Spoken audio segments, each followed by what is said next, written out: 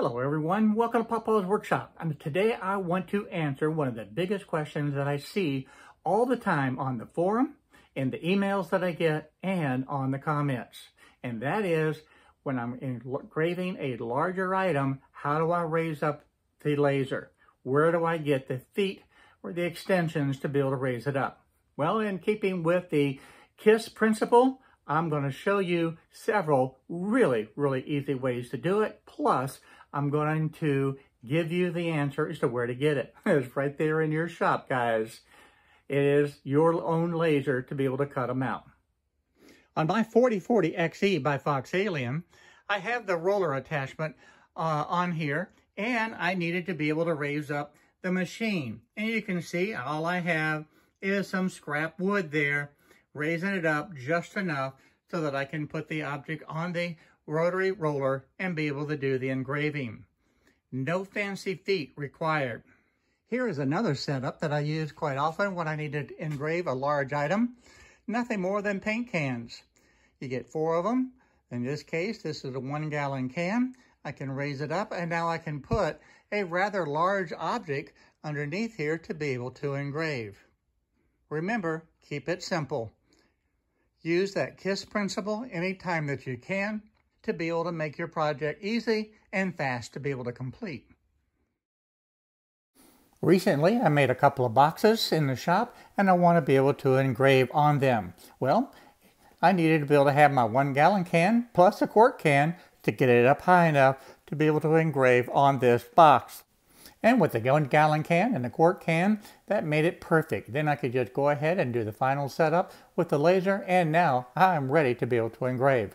I want to give you one more example now where we can actually make feet to be able to go onto this. Now this is a Fox Alien uh, riser machine and these are 20 millimeters apart. So what I'm going to do is show you very quickly how to design in Lightburn the feet that you can use to be able to add to your laser.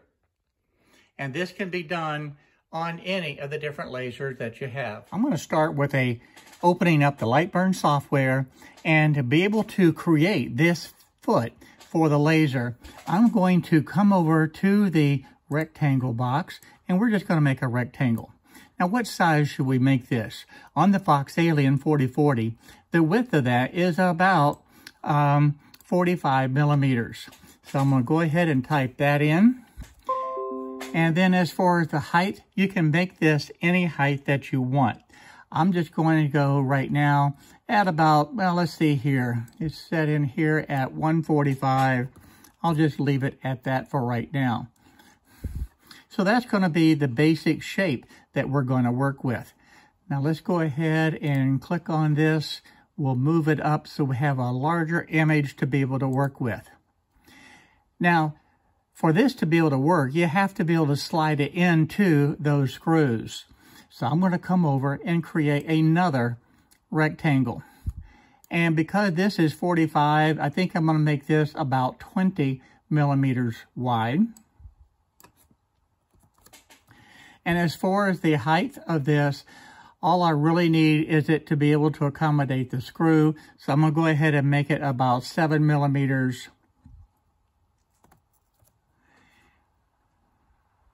and that will give me the uh, measurement that I need.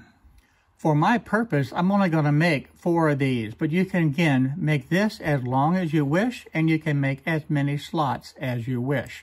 So I'm just going to highlight this, hit Control C and Control V, and that gives me a second one. All right, so I'm going to play with this to begin with. So let's go over and let's just bring it over to where we need to have it. And let's just say we're going to start right about here. And I am going to go ahead and rotate this down. And we can rotate this down about 10 degrees. And I think that will be good. So that way it'll be able to slide in there. It's not going to come out. And you'll be able to tighten the screw right there. Now I want to make it easier to be able to place these others in here. I'm going to put this as at exactly on the x-axis at 250. I will just make it at 540. All right, that'll be good for now. For this next one, I'm going to go ahead and I'm going to hit Control C and Control V so I have a second one right here to be able to work with. We're going to move that over here. Now, where do I want it? So this one needs to be on the x-axis at the 250, and it needs to be at the 20 millimeters less. We started out at 540, so we need to have this at the 520, and I need to have this rotated at the 20 degrees, or 10 degrees. And then we'll do the same thing again. I'm going to hit Control C and Control V. And that will give me another one. And I'll go ahead and make this at the 10 degrees right now. And I'll go ahead and put this one in at the 250. And then I need to be at 500. And there we go. The next one, we'll rotate it again at the 10 degrees. And to place it into position, we'll make this at 250 and 480. And there we go. Now we have all four of our slots, but this still is not really complete. What I want to be able to do is make this actually a slot and get rid of this. All right, so what I'm going to do is just highlight the overall rectangle, hold the shift key down, click on this. Then I'm going to come over here to this weld function right here, and I'm going to click on that. And you can see what it does. It erases this and creates that little pocket in there that will receive that screw. Now I'm going to do the same thing again. The interesting thing is you can only select one at a time. So I selected the big rectangle, select the little rectangle, and come over and do the same thing again. Now let's repeat this process two more times and we will have our slots.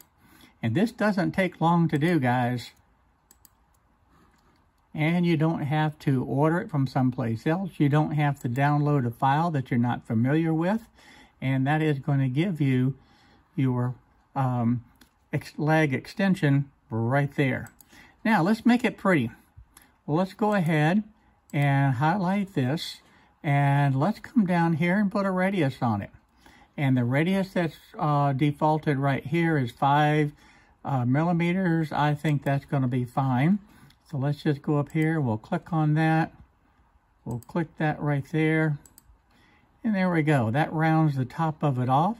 I think that'll look good. So there's that part. Now then, I think I want to be able to taper the leg.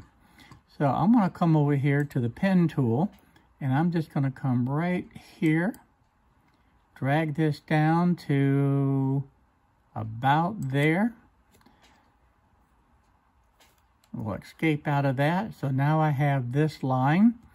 Okay, the next thing I want to do is be able to get rid of this. So this actually tapers. So in that case, I'm going to come over I don't need this highlighted yet. Let's just leave it like this. And I'm going to come over to my node edit menu and we'll highlight this now. And we have all the nodes selected. And I'm going to come over and highlight over this item right here. And I'm going to hit T for trim. And that eliminates that portion. Come back over to my select tool and that has everything done. Now you notice this is not part of it. So I'm going to highlight everything. And then I'm going to come up here to the um, group selection. This is ungroup. This is group. And I'll put it together. And now we have one item. So that's just how quick that you can make the feet. And again, you can make this any width that you want, any number of slots that you want, and um, any height. So this is an easy, very easy way to be able to do your feet. If you don't like my paint can method and my uh, scrap wood method. Okay, everyone, that's four methods to be able to raise up the laser, and I bet you can think of some more. Thank you for watching this really short video today. All I really wanted to be able to accomplish is answering this nagging question that so many people have had. So if you like this video, please go ahead and give me a thumbs up. And by the way, while you're there, go ahead and hit that little subscribe button and the notification bell so that you'll be notified on the different videos. I've got a lot of different videos planned. You're not going to want to miss out. So please go ahead and subscribe now.